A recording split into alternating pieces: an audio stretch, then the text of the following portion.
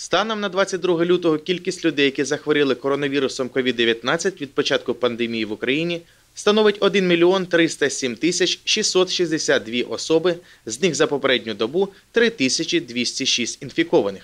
Вилікували за весь час пандемії 1 мільйон 146 тисяч 73 людини, 1557 за попередню добу. Летальних випадків за весь час 25 тисяч 156 53 за попередню добу. Про ситуацію з коронавірусом на Херсонщині у щоденному брифінгу розповів Вадим Чебан, заступник голови Херсонської облдержадміністрації. Хочу відзначити, що через темпи, значні темпи поширення COVID-19 на Західній Україні е, прийнято рішення е, стосовно підготовки до розгортання додат- додаткових ліжкомісць е, для хворих на COVID-19. Ці заходи будуть реалізовані на базі вже виділених лікарень, ковід, так званих ковідних лікарень. І у випадку необхідності ми будемо мати змогу розгорнути більше ніж 600 ліжкомісць протягом е, тижня з мо- з моменту виникнення потреби.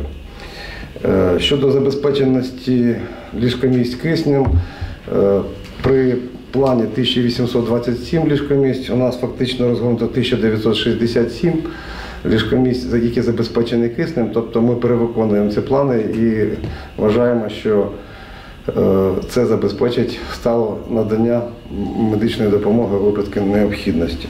На вакцинацію в державному бюджеті на 2021 рік передбачено 3,9 мільярдів гривень. Постачання вакцини в Україну буде здійснюватись кількома шляхами. Так, в межах глобальної ініціативи COVAX Україна отримає 8 мільйон доз вакцин від COVID-19. Перший транш 117 тисяч доз вакцин Україна має отримати найближчими днями. З дня на день Україна очікує на першу партію вакцини від коронавірусу. Нагадаю, препарати від компанії AstraZeneca вже прибули за місцем призначення просто зараз перебувають на прямому маршруті до України. Вакцинація розпочнеться відповідно до затвердженого графіку. Найперше буде проводитись вакцинація медичних працівників, військовослужбовців, працівників освіти, Національної поліції та Національної гвардії України.